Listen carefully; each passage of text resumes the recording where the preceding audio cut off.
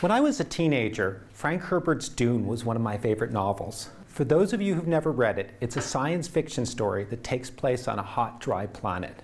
One of the most intriguing things about this book to me was the way in which the protagonists of the story would don their still suits before they went down into the desert. To me, the most interesting part about the still suit was the way in which it captured the moisture and bodily wastes of its wearer and cleaned the water so that they could drink recycled water from a straw mounted next to their mouth.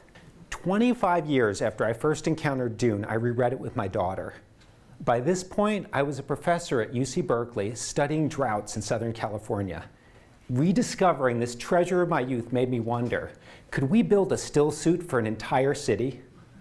When I pondered this question for a while, I realized that in some ways we're already doing it. By passing water through reverse osmosis membranes, adding a small amount of hydrogen peroxide and exposing it to ultraviolet light, engineers in Orange County, California had been turning what used to be considered useless wastewater into drinking water for over 25 years. The difference was that after they passed the water through the advanced treatment process, they injected it into the groundwater aquifer, where it spent six months before it was pumped out and returned to the water supply. Over the past two decades, this practice, which is called potable water recycling, has gradually spread from Southern California to Arizona, Texas, Georgia, and Virginia. And as the practice has spread, our research team has developed state-of-the-art technologies for measuring chemicals that might sneak through the recycling process. We've also begun to open up entire sections of wastewater effluent receiving rivers to sunlight. The sunlight breaks down chemical contaminants, inactivates waterborne pathogens, and makes it easier for the downstream city to recycle the water. Now, in the early days, the skeptics said that as potable water recycling spread and the public became more aware of the connection between their drinking water supply and the sewer, they would be repulsed. But that hasn't been the case. Researchers at UC Berkeley have shown that as the public becomes aware of the water recycling technology and familiar with the professionals who operate their treatment plants, the initial fears tend to recede. Over the past decade, we've seen increasing interest in potable water recycling as droughts have emptied the reservoirs in California and Texas and Brazil and Australia.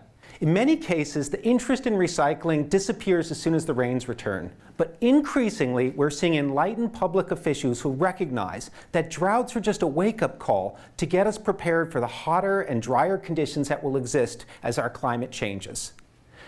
But there's still a problem. Our still suits leak.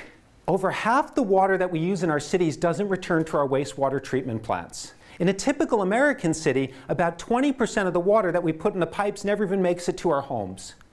Now, if we were to invest more money in our neglected water infrastructure, we might be able to plug these leaks, but we'd never be able to completely close the urban water cycle. That's because we're always going to need some water to support trees and foliage that shade us from the sun, cool the air, and provide us with recreational opportunities. Now, it might be possible to refill our still suit by capturing the water that falls on our roofs and roadways and lawns and returning it to the drinking water supply. Here at UC Berkeley, we're developing cost-effective ways to purify rainwater and gradually percolate it into the aquifer to make up for the water that's lost through irrigation and leaks. But even if we were able to do this, it wouldn't be enough. There's still another problem, the location of our sewage treatment plants.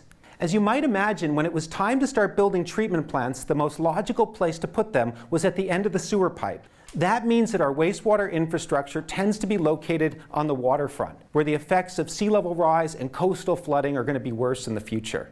Here at UC Berkeley, we're developing two solutions to this problem. The first one is to use the water that remains after the recycling process to create a series of coastal wetlands that protect our flood control levees from storm surges. The other is to completely abandon our centralized wastewater treatment plants and build distributed recycling plants throughout the city. These miniature treatment plants will be equipped with many of the same technologies that we have in our centralized plants, but instead of having a staff of full-time operators, they'll be run remotely with sensors and actuators.